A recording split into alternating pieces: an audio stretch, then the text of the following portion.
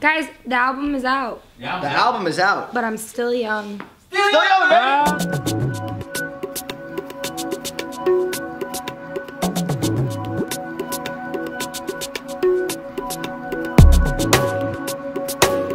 Stop, the first time I met you, you were sitting on a park bench, and I was with Brian Samus walking down the street. Yeah, yeah. You took your headphones out and you were listening to my song, and you grabbed me. Yeah. Of course I remember you. That was three years ago.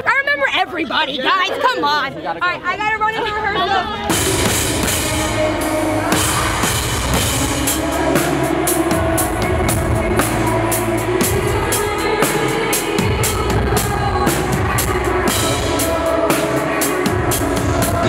Ah,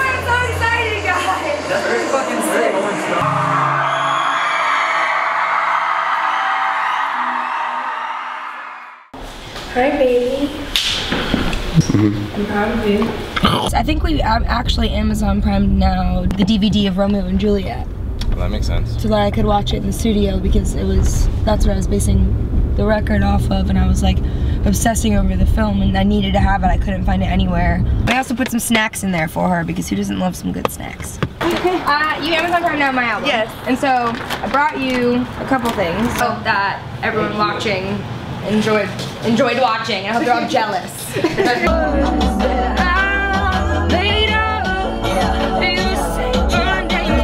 Going to surprise fans at Target. Going to buy your album? Yeah. what about all of them? How many of you guys are there? Are there more of these in the back? I could check for you. Could you? Grammy nominated multi-platinum alternative pop maverick Halsey. and I screenshotted it and I was like, this is what I say when they ask me for my name at Starbucks. No, no! Just pass one down, please.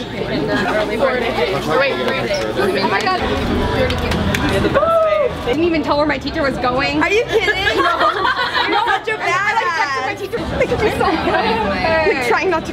No, you're totally fine. Thank you for going through all that badass stuff Yeah. just to come say hi to me.